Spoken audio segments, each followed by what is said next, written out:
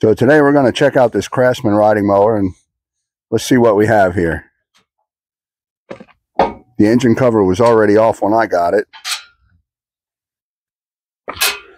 And the issue seems to be no compression. But you can hear air moving, so that means that the piston's going up and down.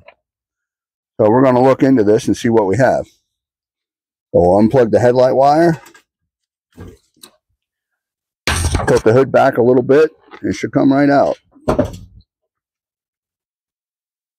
So right here is your typical Briggs & Stratton overhead valve engine. This one is at 18 horsepower.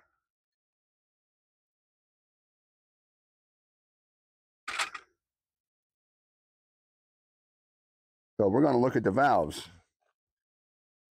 I suspect that there's a problem in there somewhere. Maybe a rocker arm came off. Maybe the cam is shot and the valve's not even opening.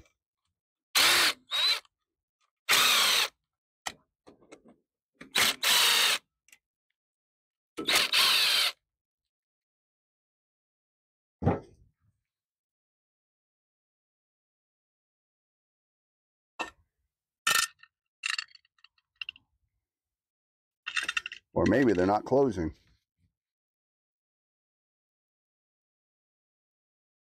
So right here in the end is a little set screw that keeps this nut from turning. And this one is screwed out and this one's screwed in. They should really look about the same. Well, let's turn this over, see if these valves are moving. All right, so that one's moving. That's the exhaust valve on top. The intake's moving on the bottom.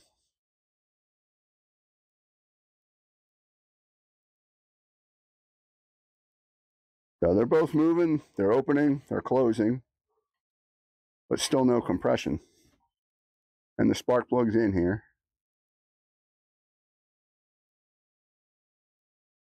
So is it possible that there's a hole in the piston? There's nothing apparently wrong here with the valve train.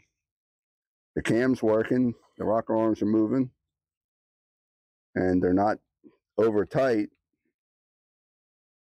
So the valve should be closed all the way. And maybe we'll pull the head off of this and see what we end up with.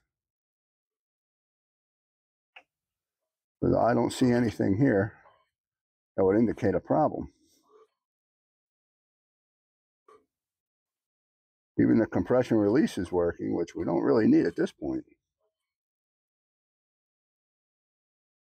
Let's pull a spark plug out, put a screwdriver in there, just to make sure.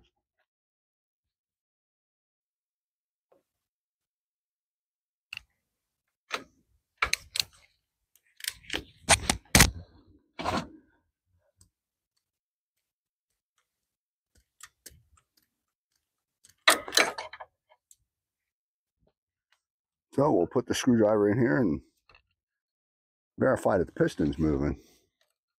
Oh yeah, the piston's moving.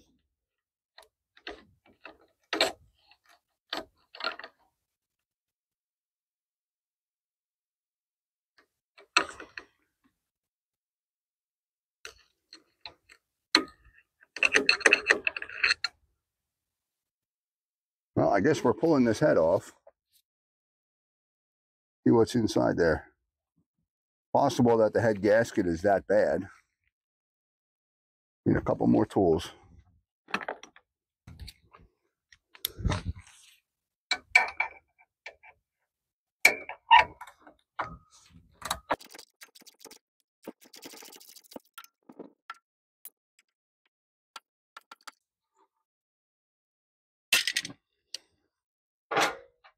Two bolts for the exhaust pipe.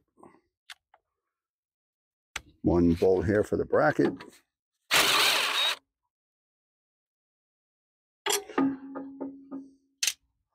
That's all it is for a muffler on these Craftsmans. And we want to save this gasket.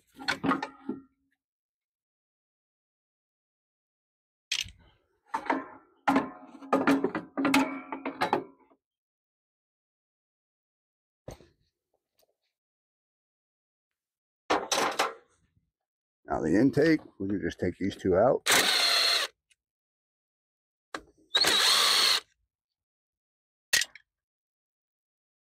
Now the head bolts. All right.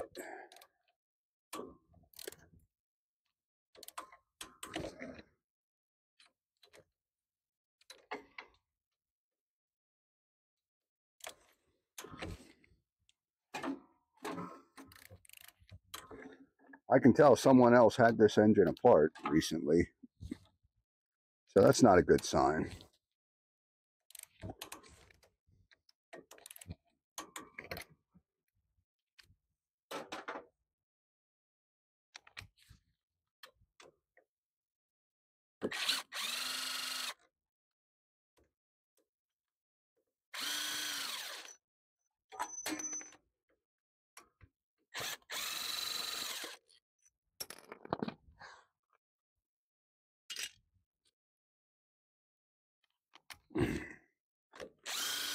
Far as I've seen, these bolts are all the same size.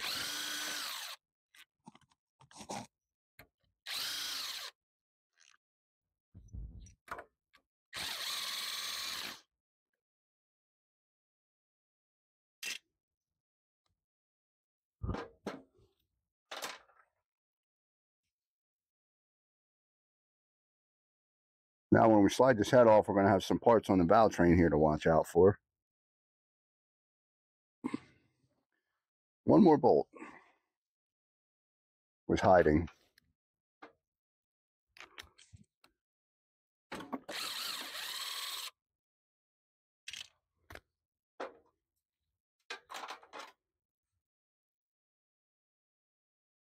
All right, now we got them all. We're going to pry a little bit. There we go.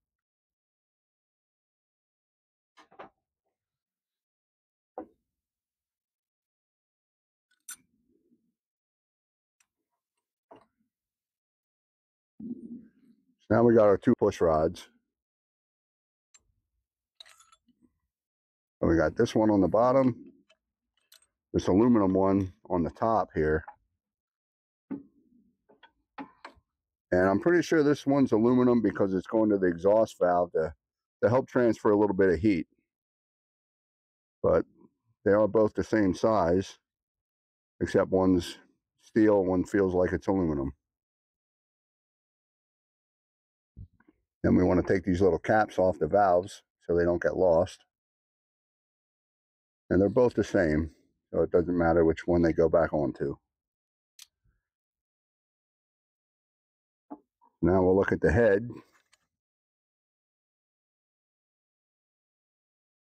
And there's our problem. Valve seat popped out. So that is actually fixable. Take the valve out. We'll compress that spring, take the keepers out. And we'll uh, take the valve out, put the seat back in, take a small center punch and peen around there put little indentations in to hold that seat in there. And that's going to be what put this out of commission. And if we turn this, there's no need to worry about timing. We turn this, there's there's no scoring on the bottom of the cylinder. Let me look at the top here. Yeah, I don't I don't feel any scoring in there. There's no wear marks in the whole cylinder.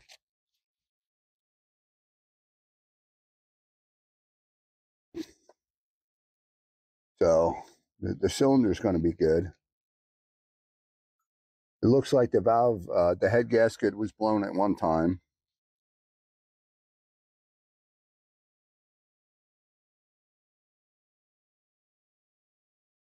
We can get this off of here in one piece. Not that it matters. I'm going to have to clean up everything real well.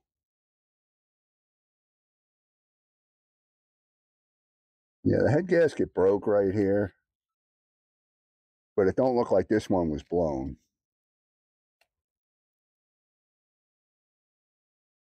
Trying to get this. Yeah, I, I don't believe this head gasket was leaking.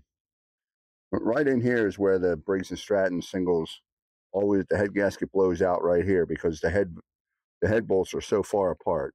The rest of these are fairly close. But over here, that, that's uh, for a locating pin. But over here, you have a lot of space. And this is where they usually blow out. And I'll move the camera so you can see see the design it leaves on the on the block. So right here, these black marks, that's from a previous head gasket leaking. And, and it blows out there.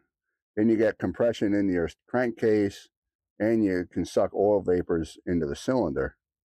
Well, when you get pressure in the crankcase, then the oil vapors go go out your breather here and get sucked into the engine and it burns them and it makes it smoke and blow oil. So the, this head gasket problem is fairly common on these singles. It's not a hard fix. We already got to the head gasket in a few minutes. So that's what's wrong with this. It, re repairing the valve seat will be in the next video.